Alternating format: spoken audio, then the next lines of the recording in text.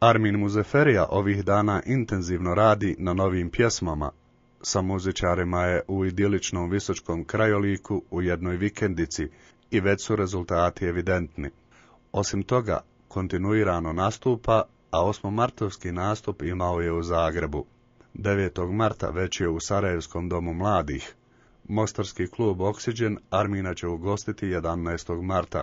18. marta Armin nastupa u Ođaku, a dan poslije u Maglaju. Nove pjesme Armina Muzaferije očekuju se već na proljeće, a album do kraja jeseni ove godine.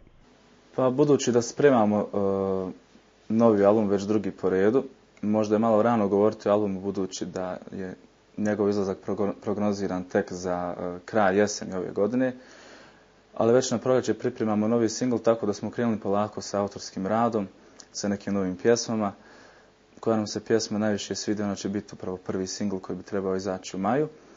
Ovaj, smatram da je najbolje za kreativnost i za rad ako pobjeć malo iz civilizacije kao što smo mi uradili daleko na jednoj vikendici na jednoj planini, tako da ovaj, možemo nesmetano da, da ispolimo sve svoje zamisli, ali da nikom ne smetamo mi, ovaj, to se već pokazalo na prvom albumu kao, kao najbolje rješenje.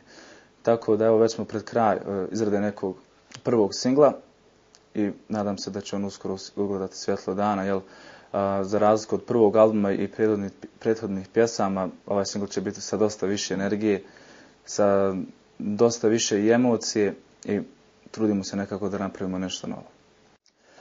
Pa evo, s obzirom da ovaj, je dugo do, do izdavanja albuma, prvo smo krenuli sa radom autorskih pjesama mojih i mojih muzičara, jel?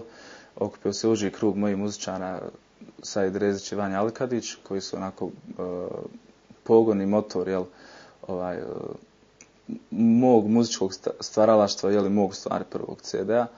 Tako da e, ćemo prvo raditi svoje, a onda ćemo se pozabaviti s aranžmanima i pjesama drugih autora koje već naveliko prikupljamo ovaj, i nadam se da ćemo ih uskoro sve kompletirati.